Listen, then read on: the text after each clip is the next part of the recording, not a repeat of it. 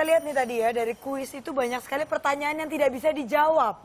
Iya kan? Nah Iya, sekarang iya. spesial kesempatan kalian boleh bertanya. Iya, Mungkin dari silakan. Yuanita dulu mungkin ada tuh dari wajahnya kayak banyak sekali pertanyaan. Banyak. Kebetulan aku nih udah tiga tahun ini punya restoran Calontong. Oh, restoran. Iya, udah tiga cabangnya di Jakarta. Wah luar biasa tepuk tangan buat Yuanita.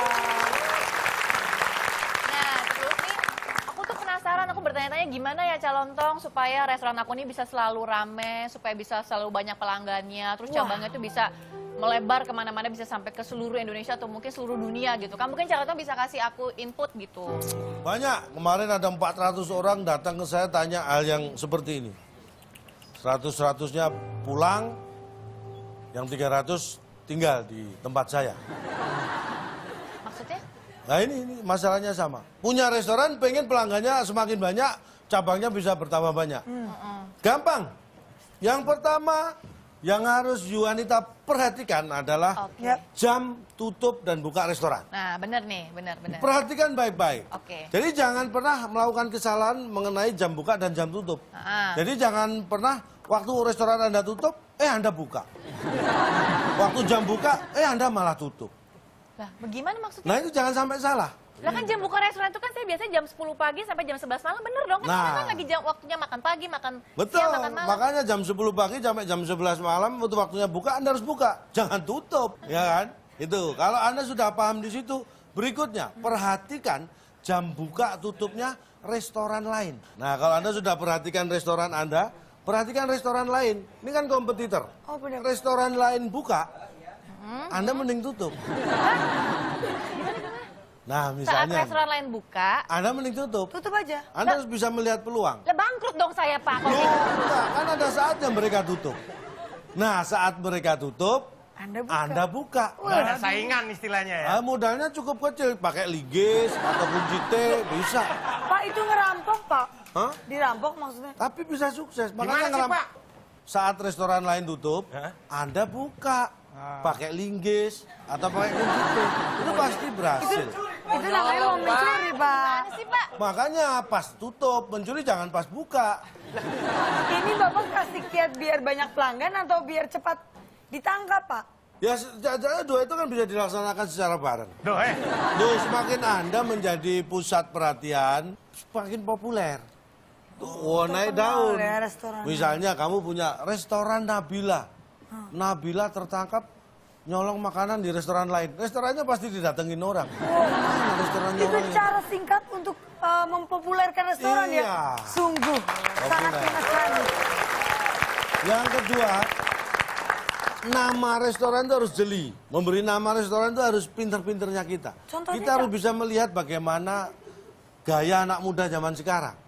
Kalau pengen didatangi anak muda sekarang, hmm, namanya harus kekinian dong nah harus kekinian dan yang paling apa? Familiar. Familiar. contoh contoh Biasanya kalau laki-laki ngajak ceweknya makan nih. Ya. Ayo mau makan, pengen makan apa? Hmm, terserah deh. Nah, kasih nama restoran terserah. Pasti didatengin karena yang pengen mak- makan apa? Makan terserah akan datang ke restoran Oh terserah. iya. Wah, Iya, masuk akal. ide yang sangat Menu-menunya mengesankan. juga. Pemilihan menu, memberi nama menu itu juga pengaruh. Makanya menunya juga terserah. yang mau dipesan apa pak kalau isinya cuma terserah doang Nah, Anda harus menciptakan resep terserah itu isinya apa. Karena mereka akan pesen terserah. coba isinya apa terserah isinya apa contohnya Iya terserah. Kalau saya tentukan isinya bukan Iya, isinya terserah. contoh isinya isinya apa contohnya Isinya kalau terserah itu isinya T E R S E R A H. Kalau T E R S E B U T itu tersebut. Isinya apa? Isi menu makanannya apa? Spaghetti, Terserah. nasi goreng, Wah, terserah. padang. Terserah. Mulai kan, mulai kan bintang tamu hipertensi mulai kan. Terserah. Bebas itu. Tapi ini Yonita Sarannya terlihat sangat sekali tidak bermanfaat ya. sangat bermanfaat Tidak memang. bermanfaat. Kamu bisa denger gak sih? Enggak sih orang protes kok setuju sih Saya, gimana saya sih? dengarnya sangat bermanfaat ya, Sangat tidak bermanfaat untuk yang tidak punya restoran. Benar, buat yang dia punya pasti restoran pasti bermanfaat. bermanfaat. Tapi ini Ya, selain sambil, sambil Yonita akan mikir pertanyaan berikutnya mungkin mungkin. Pak. boleh Coki bertanya? Ini pertanyaan ini saya masalah saya yang jadi masalah saya selama berpuluh-puluh tahun, Pak. Nuh, Usia lu berapa? Anda ratusan tahun ya umurnya? Oh, bukan. Itu hiperbola, Pak. Jadi Udah lama lah intinya. udah lama. Ini di sebelah kanan saya, ini pacar saya. Hmm. Nggak Kita mungkin. namanya siapa kalau tahu kalau pacar lu? Rani. Nam- Nama lu bener Rani. Tuh Roni. Wah, masa nama cewek Roni? Iya. Rani nama panjang pemberani. Nah, Kau pikir mesti berani. Waduh, mesti berani. jadi saya sama Rani ini udah pacaran sekitar tujuh tahun, Pak. Katanya Oh. masalahnya berpuluh-puluh tahun, ternyata pacarannya baru tujuh tahun ya, Cak? Ya maksudnya sebelumnya dia juga pernah pacaran. Betul. Namanya Rani juga. Oh. Orangnya ya itu juga. Betul. Jadi saya sama Rani ini udah pacaran tujuh tahun dan kita memutuskan bulan depan kita akan menikah, Pak. Oh kalau menikah jangan diputuskan dong. Terus gimana Ah, nikahnya? maksudnya akan Ah iya melangsungkan. Sepakat Ah, ah. maksudnya. Iya. Sepakat untuk menikah. Sepakat untuk Oh. menikah. Ah. Kasihan ceweknya. Dan permasalahannya adalah semakin dekat ke tanggal pernikahan, Pak. Pacar saya ini makin susah tersenyum, Pak. Dan Oh. masalahnya dia kalau susah tersenyum akan melakukan hal-hal yang cukup aneh. Misalnya? Kemarin nyemil rumput futsal. Atau apa? mungkin bermain-main di air terjun. Nah, itu dia permasalahannya. Gimana caranya, Pak? Supaya saya sukses membuat pacar saya bisa tersenyum kembali, Pak. Tolonglah, Pak ya. Ini relationship. Nah, ini berarti bisa ya. Bapak baru ya? keluar dari botol ya. Kamu pikir saya John? Jin. Jin! Jadi begini, Dek Coki ya. Ya. Ini sederhana. Anda harus tahu rumus 3W 1H. Apa itu, Cak? Maaf, Pak. Bukannya 5W ya? Oh itu dalam jurnalistik. Kalau ini dalam percintaan cukup 3W. 3W 1H. W yang pertama. Supaya pacar Anda bisa tersenyum lagi kan. Iya. W yang pertama, what? Wajah maksudnya.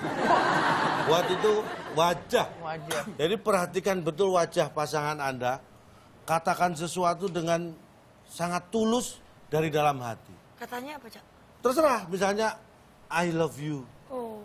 Aku mencintai kamu. Tapi yang tulus. Oh. Kalau itu masih belum berhasil, W yang kedua. Apa nih, Pak? Where? Where? Where? Gimana? Where itu kepanjangan dari jewer. Jadi supaya dia tersenyum kembali, lakukan gerakan menjewer diri Anda sendiri. Sambil dijewer, Ya. julurkan lidah. Di depan pacar Anda. Oh, pasang muka lucu ya, Cak? Nah, intinya itu. Kalau dia masih belum bisa tersenyum juga, lakukan W yang ketiga, Oh, apa, Apa nih, itu? Cak? wayang. Nah, lakukan gerakan-gerakan wayang. Gimana? Tapi W yang kedua sama ketiga ini berkaitan.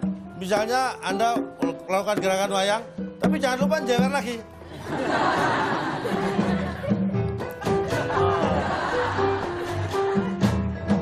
Nah, Ah. coba itu.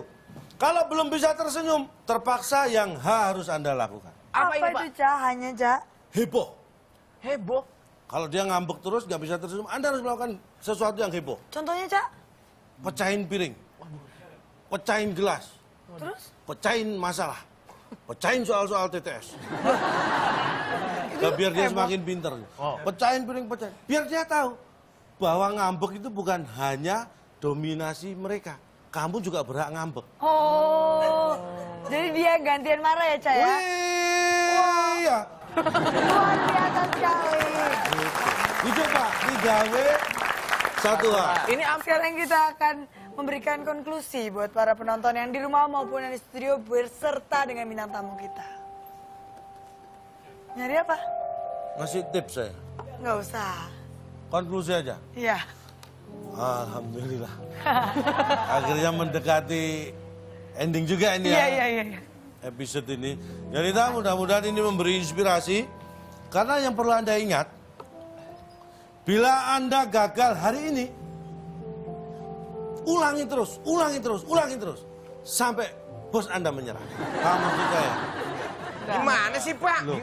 Orang gagal suruh ngulangin. Kalau Anda gagal, Anda jangan menyerah. Tapi ulangi terus kegagalan itu setiap hari sampai bos Anda yang menyerah. Maksudnya kita kerja di kantor. Nah kalau Anda kerja di kantor, kalau Anda melakukan kesalahan, gagal, ulangi terus. Sampai, Sampai- bosnya menyerah. Sampai bos Anda yang menyerah. Lah kita Ya dipecat, dong. dipecat Pak. dong.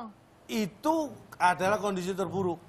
Siapa tahu malah perusahaan itu diserahkan ke Anda karena dia frustasi. Karena dia yang Dan keluar. terserah kamu. Itu kemungkinan terbaik. Ya. Yang kedua, Kesuksesan bisa diraih karena usaha. Ingat ya, kesuksesan bisa diraih karena usaha keras. Usaha keras itu berawal dari kemauan yang kuat. Kemauan yang kuat itu terdorong oleh cita-cita yang tinggi. Cita-cita yang tinggi itu berawal dari mimpi. Dan mimpi terjadi karena tidur. Maka kalau Anda ingin sukses, mari tidur. Wah, senang sekali perjumpaan kita pada hari ini. Terima kasih kepada Yuanita.